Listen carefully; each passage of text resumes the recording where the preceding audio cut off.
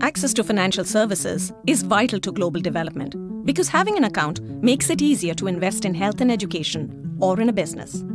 Accounts also help families manage economic emergencies that can push them into poverty. As of 2021, 71% of adults in developing countries have an account with a financial institution or mobile money provider. This is an increase of more than 50% from a decade ago. Digital financial services, and particularly mobile money, drive inclusion. In sub Saharan Africa, 33% of adults use a mobile money account.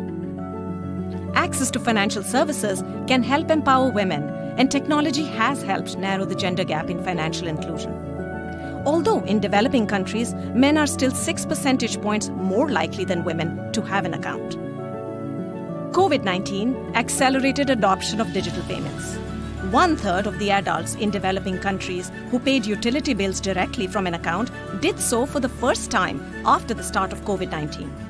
In Latin America, for example, 40% of adults use their account to pay a merchant in store or online, including 14% of adults who made their first merchant payment from an account during the COVID 19 pandemic. There remain 1.4 billion unbanked adults worldwide.